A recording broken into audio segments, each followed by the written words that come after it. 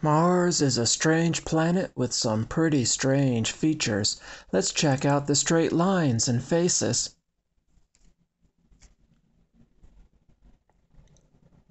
You may have seen this in another video. They call it Biostation Alpha. Not much there, except it's a straight line and it's east-west aligned. That's a 90 degree angle. Not far away is another one. I call it Biostation Beta. Also, also east-west aligned.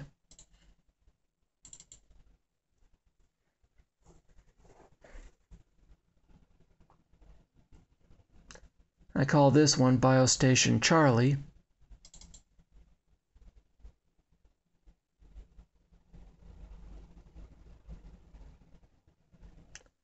The String of Pearls.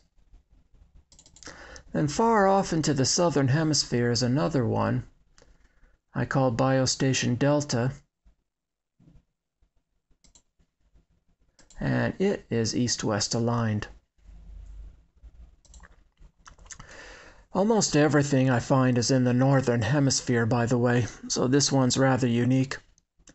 And now let's check out that famous face on Mars.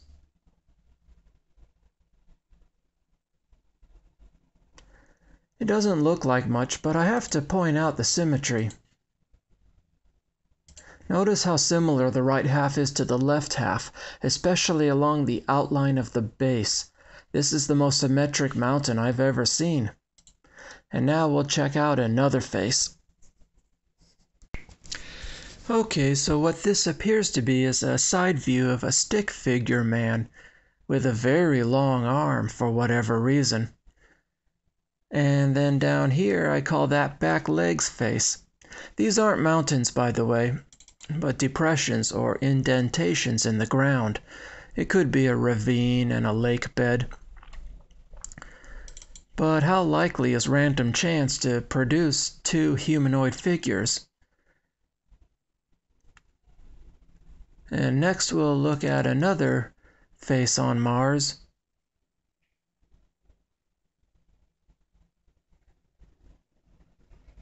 It's hard to see, but that's a smiling face. And it could be the product of random chance.